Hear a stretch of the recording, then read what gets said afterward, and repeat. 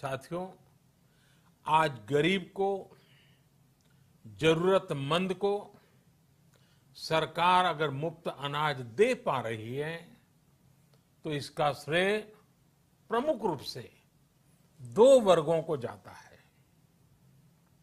पहला, हमारे देश के मेहनती किसान, हमारे अन्नदाता।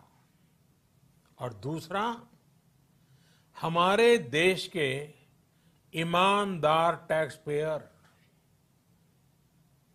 आपका परिश्रम, आपका समर्पण ही जिसकी वजह से देश ये मदद कर पा रहा है।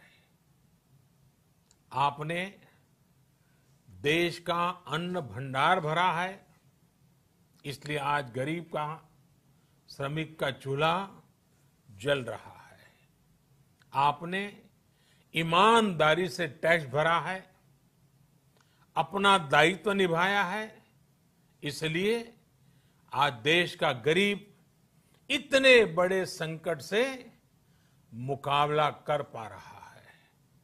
मैं आज हर गरीब के साथ ही देश के हर किसान, हर टैक्स पेयर का हृदय से बहुत बहुत अभिनंदन करता हूँ, उन्हें नमन करता हूँ। साथियों, आने वाले समय में हम अपने प्रयासों को और तेज करेंगे। हम गरीब, पीड़ित, शोषित, वंचित, हर किसी को सशक्त करने के लिए निरंतर काम करेंगे। हम सारी एहतियात बरतते हुए इकोनॉमिक एक्टिविटीज़ को और आगे बढ़ाएँगे। हम आत्मनिर्भर भारत के लिए दिन रात एक करेंगे।